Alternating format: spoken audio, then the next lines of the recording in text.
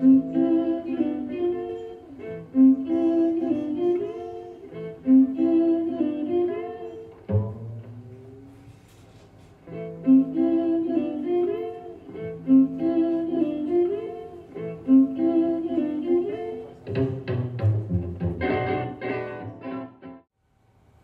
semaine dernière, je suis allé à Liberchy, dans le Hainaut. Un petit village belge, briqué, tout rouge et silencieux, pas loin de l'effrayant Charleroi. Sur la place, l'église où le petit Jean-Baptiste Reinhardt a été baptisé. Ça se couvrait. Je suis sorti du village comme dans un film d'André Delvaux. Django Reinhardt est né ici, le 23 janvier 1910.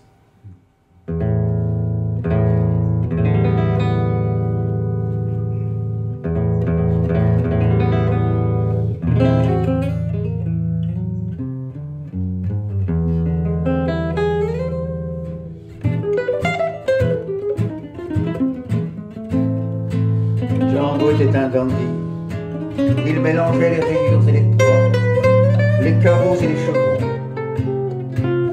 Très coquet, Django allait loin dans les couleurs de chaussettes dépareillées.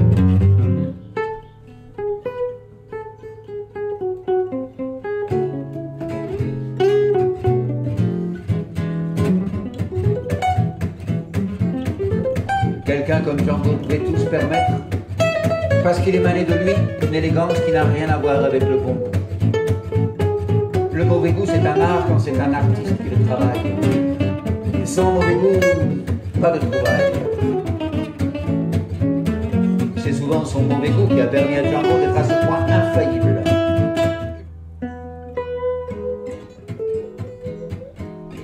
Django a composé des thèmes tour à tour amusants, étranges, facile, touchant, folklorique ou carrément vieillot. La main de Django. Quel gifle au goût public.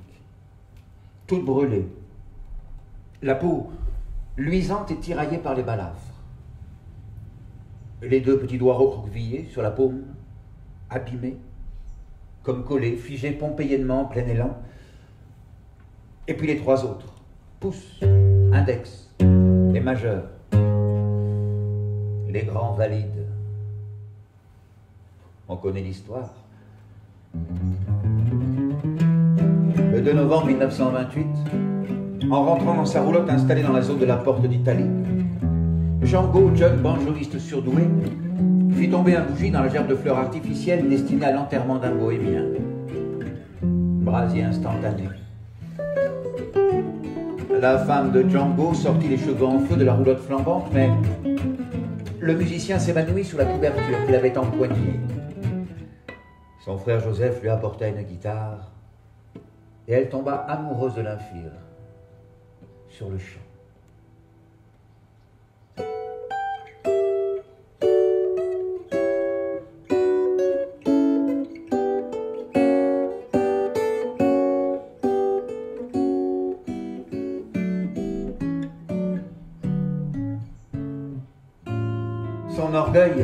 Et sa détermination magnifique l'ont aidé à s'introniser le meilleur guitariste du monde.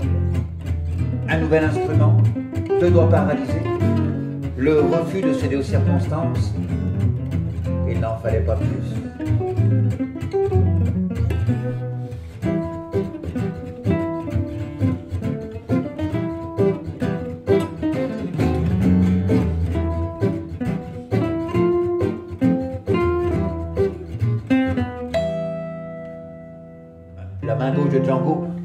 Un animal à part qui rend une sorte de crabe blanchâtre aux longues pinces tordues.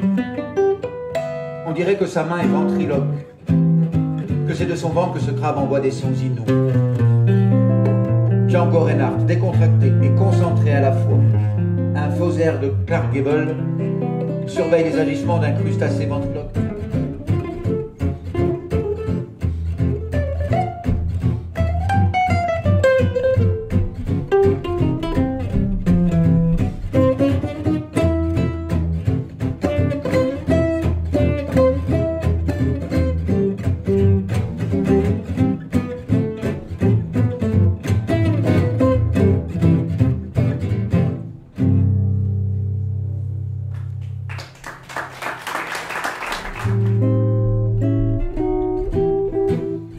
D'interprète humain d'une inspiration divine, Django apparut longtemps comme un autodidacte irresponsable, tenant dans ses bras une guitare qui chantait toute seule. Sa musique incroyable ne serait qu'une affaire entre Dieu et sa guitare, comme si lui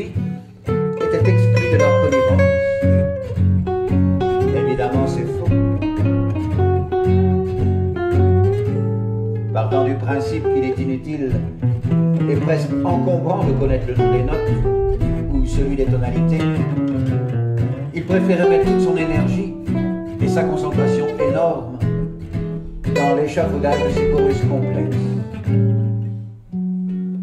La fameuse main dont on lui avait parlé, presque élégamment cambrée sur la queue de billard, indiquait qu'il s'agissait du guitariste. On leur trouva les instruments et, devant le baroudeur éperlué, Django et Joseph exécutèrent une valse musette n'avait dès la première mesure plus grand chose à voir ni avec une valse, ni avec une musette.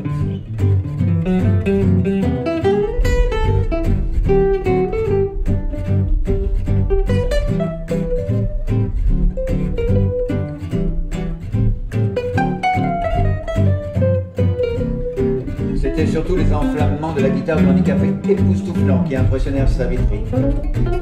Comme si Django, selon le trop fameux bon mot de Jean Cocteau, avait emporté de sa roulotte en feu le feu lui-même, et qu'il le propageait désormais à son tour pareil.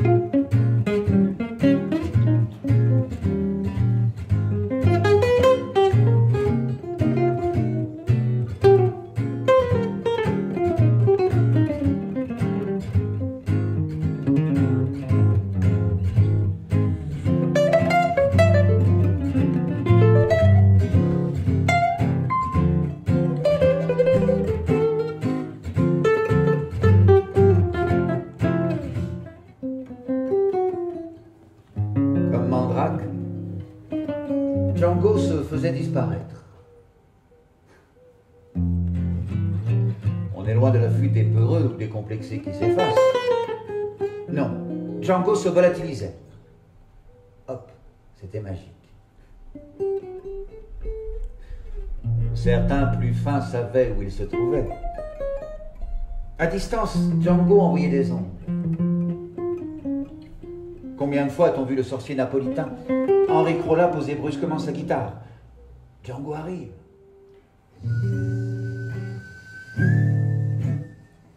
Manoir de mes rêves.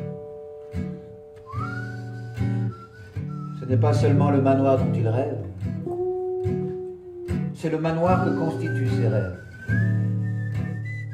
Et de ce manoir au mur de nuages, Django, de 1947 à 1951, ne veut plus sortir.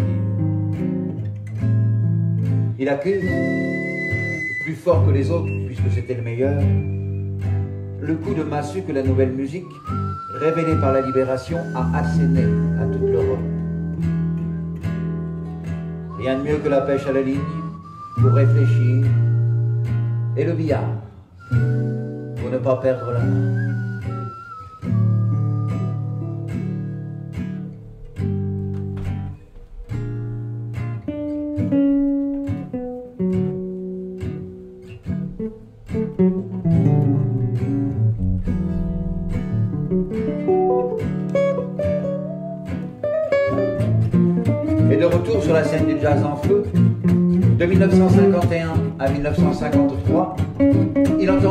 Qu'il est toujours Django Guitar. Il prend la rythmique la plus moderne de France et tous les soirs au club Saint-Germain sans faillir, il va inventer une sorte de art rock cool typiquement djangologique. Des foudres et des flèches de sa guitare, surélectrifiée par un ampli tyrannique qui pousse à fond comme un tonnerre. Plus cérébral que jamais, Django s'éponge le front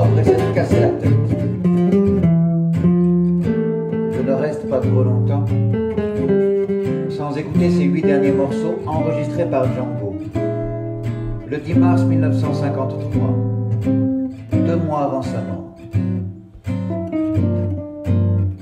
J'adore tout, mais avec les plages gravées en 1937, c'est ce que je préfère. De I See You in My Dreams à Brésil.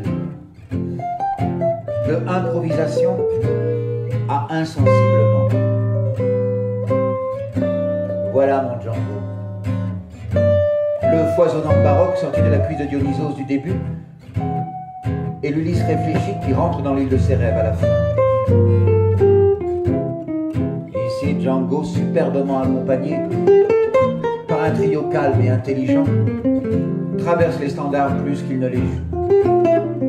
Sa guitare électrique sonne comme un vibraphone lorsqu'il lâche ses bulles de notes. Tant de beauté vibrant, dans une sérénité si troublante. Ça ne devrait pas être permis en musique.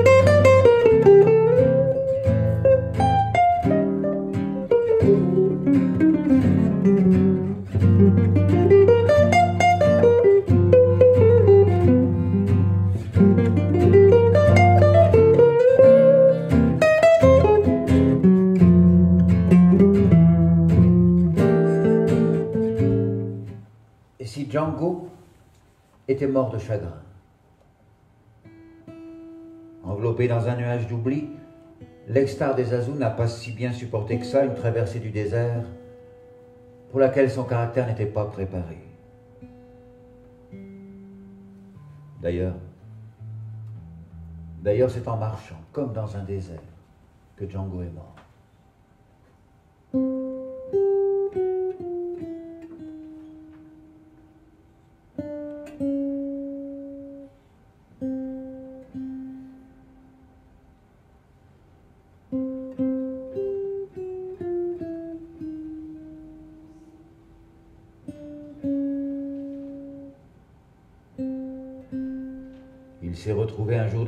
1953,